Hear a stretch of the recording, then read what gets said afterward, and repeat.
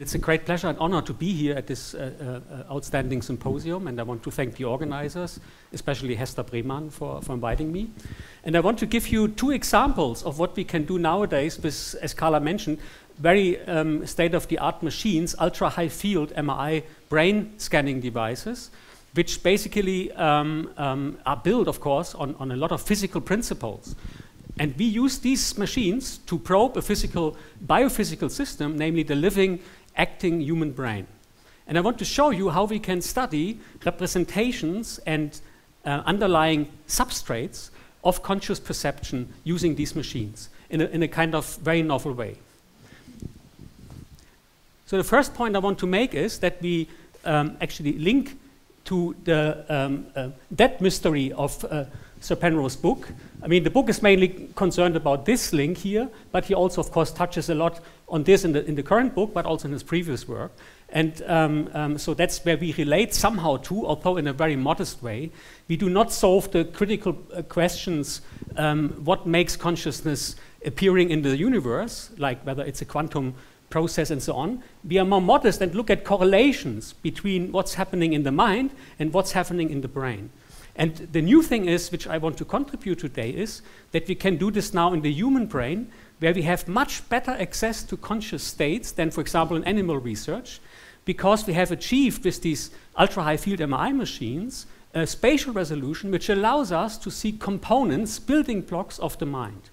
And this is what I want to demonstrate in two examples today. First, uh, I want to say one thing where we fully agree with uh, uh, Sir Penrose, uh, so his what I call the relaxed version of his three worlds model, um, where he says there is room for other mental processes which are not uh, directly determined by the physical world. Um, um, we also think that his first model is, in that sense, correct. We also assume, as a working hypothesis, that anything mental is kind of explainable by the physical world. And in our terminology, it looks a little bit different, uh, but it's in principle, uh, in some sense, I think, uh, the same. We assume that um, uh, we have different scales of the brain, and of course, we try to relate these scales with respect to each other.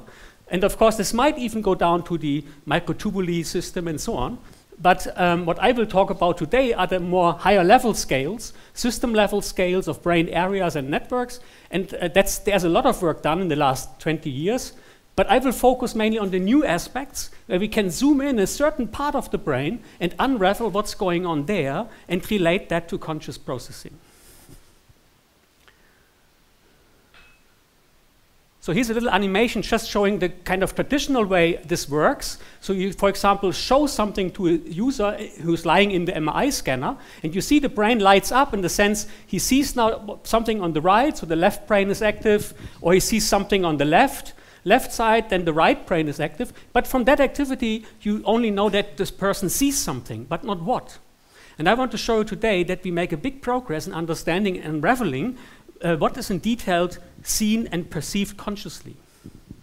And that's this level of, um, of, of, research. For that, we kind of, like Karla mentioned, build a, a special um, um, um uh, um uh, a center in Maastricht where we have access to standard MRI machines like 3 Tesla, but also 7 Tesla, and even, even beyond uh, 7 Tesla, 9.4 Tesla, which are only a few in the world available.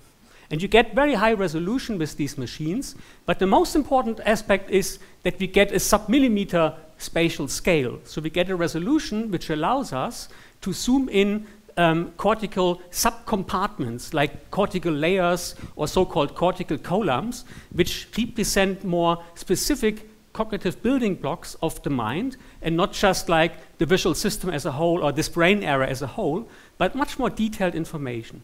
And that's crucial because it allows us to establish quite specific links between a physical substrate, a biophysical substrate, the brain, uh, and uh, conscious perception. So just to um, um, start with the first example, I will now show you uh, one of two examples only. I show you now uh, how we can see um, of ambiguous stimuli, which are basically um, not changed, but changed by the, the conscious mind itself, we, we, can show you for the first time in the human brain that we can understand them by these kind of high resolution tiny clusters in a specific part of the brain, what the content of conscious is of a person.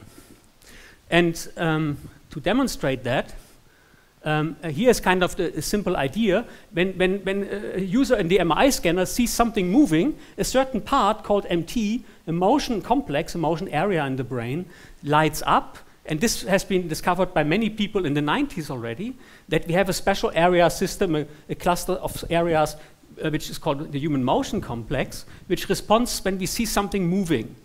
But this does not resolve in these early studies whether something moves left, right, or up, down. So the direction of motion is a building block inside a coding principle that we want to reveal. And uh, we did that by using these high field MRI scanners.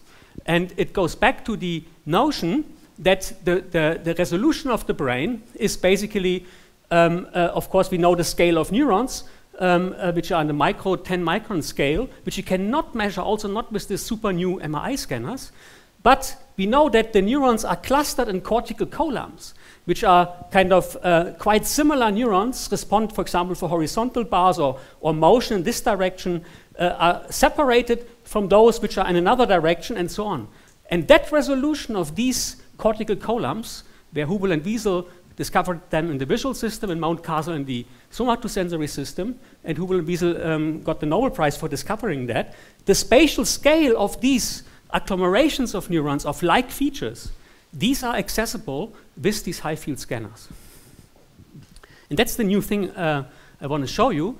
Uh, actually, this was a, um, a, meeting where I discussed this with, with, with uh, Torsten Wiesel, and it goes back to their cell recordings, and later was discovered in optical imaging. And now we can do all in animals, and now we can do this basically in the human brain.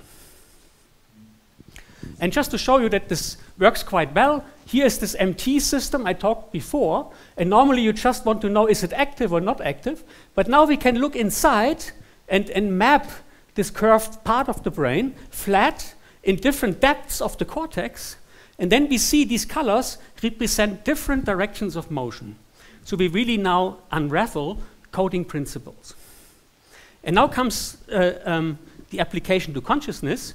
Here's now um, a physical control stimulus where um, you see these, these, these, two squares move either vertical or horizontal, horizontal. And of course, we map with that a subset of these high resolution features for horizontal motion and vertical motion in the brain. That's, that's the control stimulus. And now comes the conscious uh, important stimulus, which is ambiguous. So, what do you see here? You might see something going like this, or you might see something going like that. Actually, both is correct, because that is an ambiguous stimulus which each of you um, perceives in a different way at different times, because it switches. After some time, now it stopped, so you might not see anything, but stopping is good because it shows you there are just two squares on the screen. And this square is then shown here, and this square is then shown here, and it alternates. So you have no real motion at all there. It's just two stimuli which appear either here or they appear here. And your brain constructs the percept of motion. So you see it horizontally moving, but it's ambiguous. Sometimes your brain says, oh no, it might be this motion. And it's your brain which decides. And up to now, no one could predict what you perceive. Do you perceive horizontal or vertical? No one could say it. And this is what we can now do with these new approaches. We basically, uh, I show you this in an animation, we, uh, we, basically see in the brain, if you look at this area, which is on both sides, that's the right hemisphere, and if a su subject perceives the ambiguous stimulus horizontally, these red guys go up, and if it's vertically, these green guys goes up. They're all resolved in a tiny part of the brain.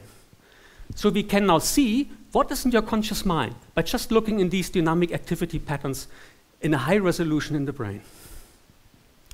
That was example one, and uh, I now go to the example two, which is in some sense even more um, exciting because we can now really visualize the mind's eye using the same machine. So if you imagine something in front of you, you see something, we can show to you what you see visually in front of you.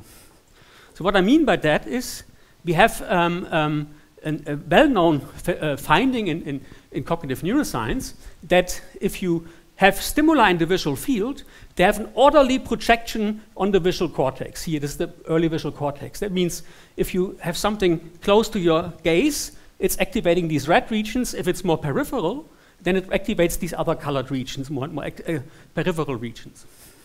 That's well known. The point now, what I want to make is that we inverted that process in a sense that we look in the brain after we map from, from stimulus somewhere in the visual field where it activates the brain. We, de we decoded that later on. We just look in the brain and then reconstruct an image as if something comes from the outside world. But the new thing is, it's just imagined. So there is nothing in the outside world. So you imagine something, we look in the brain activity, and then decode it back in a visual stimulus. Just to show you that. So here's um, actually the stimuli people see. We use this actually as a brain-computer interface for locked-in patients. And, and the people here see first the stimuli, so they're physically on the screen. And then we decode from the brain activity these kind of stimuli back. That has been done before, not that nice, but it has been done before. The, the cool new thing is the upper parts look a bit more noisy, but that's what we reconstruct when a person just imagines seeing a letter H, T, S, C in front of their mind. There's nothing shown on the screen. And we decode what's in their mind by using very weak so-called top-down activity in the topographic visual cortex and reconstruct the stimuli. If we use modern deep learning technology in addition, which I will not go into details, we actually end up nowadays in the most recent work in these kind of reconstructed imagined images. So if you imagine a letter T, we can basically see it and actually show you this in the scanner because we managed to do this in real time, close to real time, a few seconds. So this is the first this is pixel by pixel. Yes.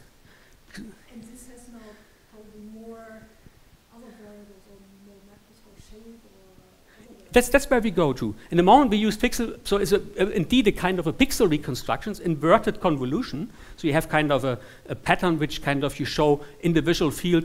This voxel in the brain here likes the points here, and we invert now. If this is active, we back project in the visual world, right? So that we construct them from all the activity with the amplitudes, we reconstruct how it would look like if there would be a stimulus which activates that, you know? And from that we make this this is re really what you get out of this, right? You see in front what you currently imagine in your mind. As a real image, that's the point I want to stress.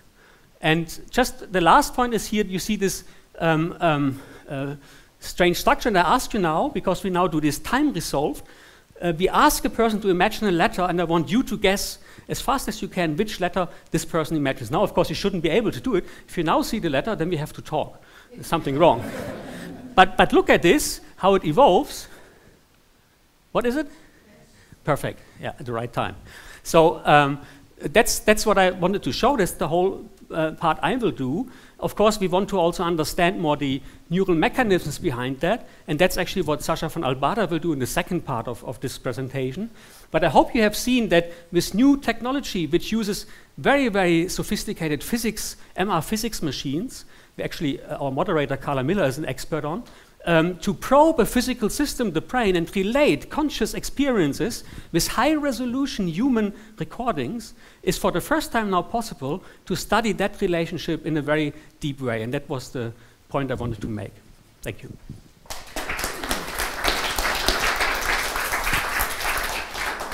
Great. Thank you, Rainer. Have we got some questions? Sort of a very practical question, but does it work with color? So uh, that's a good question because the colors here are not colors which we reconstruct. We reconstruct it without color. The color here shows just how intense certain parts of the image seem to be imagined. But we um, uh, plan in the future to really also try to reconstruct colors, but we haven't done it yet. Because our first goal is to get to shapes, because we collaborate with a, uh, actually we heard before anesthesia, but there's of course also coma, uh, and so-called um, uh, wakefulness levels uh, in, in, in Liège in Belgium, where we want to help Steven Laureys, which is the researcher there, to use this as a brain-computer interface because he has the same 7 Tesla scanner we have, and we can put the patients in the scanner who cannot talk, cannot move, to imagine letter shapes to communicate. That's the, the first application of this, but you just got funded for doing this. Okay, other questions? Yes.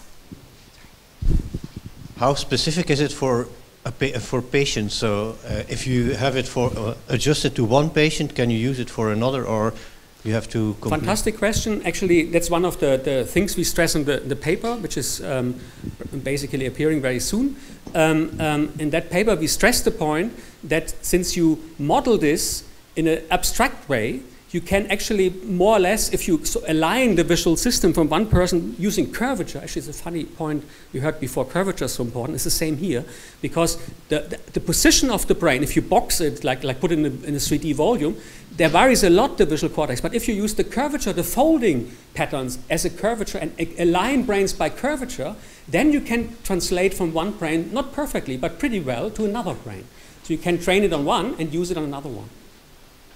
These folds are all the same for, uh, more or less the same for each person. No, they're, they're very different, but, but if you, um, um, in the sense of they're, they're, some are larger, some start later, some are like this, like that, but the, the, the, the map of the, the topography of the outside world is always, for example, the Calcarine sulcus, the depth uh, sulcus, where the, the, the horizontal meridian is always running through. So if you align the curvature, you automatically align the visual field from one brain to the other brain. Okay, thank you. Is there a connection? I mean, there's all these people with synesthesia when you get them sounds and Mix up the they other senses. things yeah. mixed up. I mean, the cells? I mean, some some parts of the brain seem to be associated with, with hearing something, some with seeing something, or some with. I mean, they, they seem very different to one con- one's consciousness, but the fact that it's in a different part of the brain, what's that got to do with it? Whereas if there's something actually different in the structures, and if the cells are perhaps in the wrong place, or whatever it is with synesthesia, when you have people see colours, a letter maybe is a particular colour or something like that. Yeah, yeah.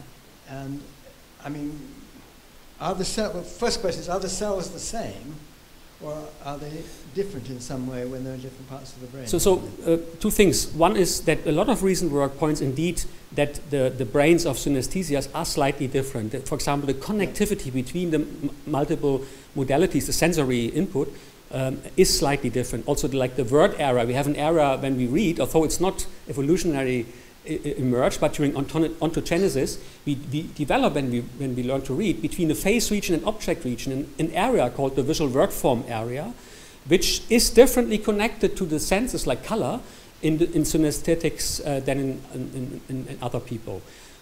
But I should also stress, that's work we have just published in Journal of Neuroscience, we have found that there are in the STS, that is the, the temporal cortex, which is in between the auditory and the visual cortex, we found columns for multiple modalities lining up first, first, first as a copy, so to say, like just visual, just auditory, and suddenly there come these functional clusters which only become active if you hear and see the things which match at the same time. Right? So detectors for simultaneous matching. So if a dog barks, uh, uh, they, they fire. If a dog makes meow, they go down. Right? So they, they, they somehow already analyze matching input. This is not synesthesia, I know, but uh, I read uh, colleagues' work from mainly from the US about synesthesia, and they found indeed structural differences in the brains of anesthetics. Anesthetics. So there is indeed something, but it's not yet. A lot of this is not understood. What we showed today is a glimpse showing how we could probably go in all these questions in the next years. But this is the start of a new kind of technology for us. Yeah, no, no, it's fascinating. I might, I might just following on from that. I think one of the, the, the, the ways in which imaging has had a, a huge impact on our understanding of the sort of general ways that brain represents information is by taking structures, types of cells, for example, place cells or grid cells, Absolutely. for example, which people found sort of by sticking electrodes into one part of, of, a rodent's brain. Um, and people have been able, in imaging, because you can see the whole brain, Yes. and you can start to do more complex things to show that it's a very general principle of how to encode information based on, on cell type. And it's something that you, you it would be Exactly. an almost impossible experiment to do in a rat to actually find, you know, map the entire brain and figure out where are these types of cells. And, and I'm so happy that also with your work, of course, which helps us a lot to do this work, to, to push forward the technology that we can now have a spatial resolution in the human brain, not only in the rat, Yeah. which, which it's, it's not neuronal, but it's columnar clusters, which, which basically gives us a proxy of the coding principles. Not at the same resolution, I, I mm-hmm. know, but we have the big advantage to relate this then to, to high level cognitive functions. Exactly, yeah, yeah, yeah, absolutely. Okay, I have a, I have a gift for you, Rainer. Very much. Thank you so much.